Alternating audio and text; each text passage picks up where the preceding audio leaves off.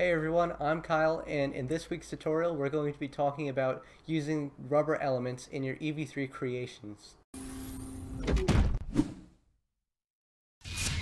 Today we're going to have a whole tutorial uh, discussing different applications we have for rubber elements because uh, rubber, the rubber Lego elements have a lot of different cool properties that you can use uh, to your advantage when you're making your own EV3 creation. And now of course the most obvious is wheels because uh, the wheels have rubber that give them traction, but we're not even going to discuss that because that's so obvious. There are four other applications that you might use for rubber elements, and we're going to look at examples of each. The first one being using a rubber band as a kind of spring, using that springy property to get a mechanism to return to a desired position. The second being to add traction to a specific part of the robot that's not necessarily a wheel to allow it to grip onto something.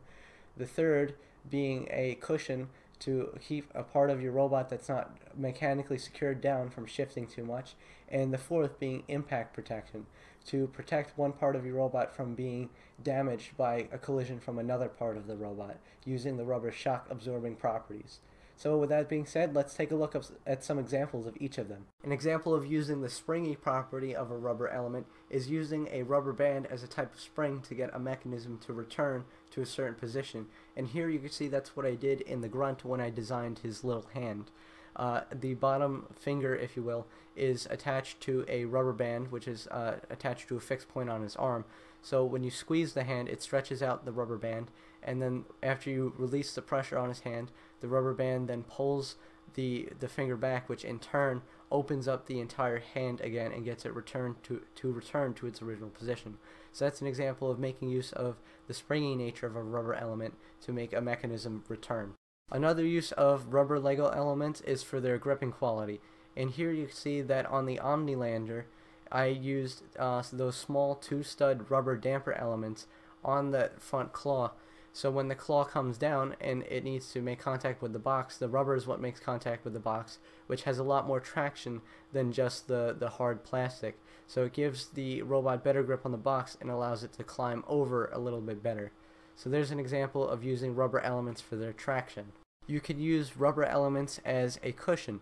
As you can see here with the Ventus battery pack, it didn't quite evenly fit within the Lego modules. So what I did is I used these uh, same two stud rubber damper pieces and I placed them so that they squish a little bit when they're holding the battery pack, but for the most part it cushions the battery pack and keeps it from sliding around inside of the robot as it walks. There's an example of using rubber as a cushioning agent taking this even further and still using rubber's ability to be soft and squishy, you could use a rubber element as impact protection. And here this is my team's FTC robot from this year. Of course it itself is not made out of Lego, but you could see that the rubber tire that we use as our impact protection was a Lego element.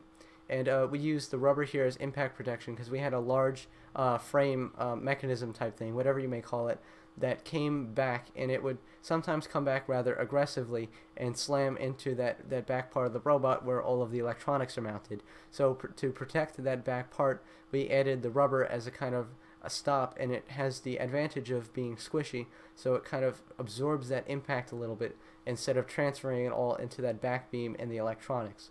So there's an example of how you can use a rubber element as impact protection. Thanks for checking out my video this week. If you found it helpful, be sure to subscribe to my channel for more tutorials like this every week. And if you have an idea for a tutorial, leave it in the comments section below. Thank you, and I'll see you next time.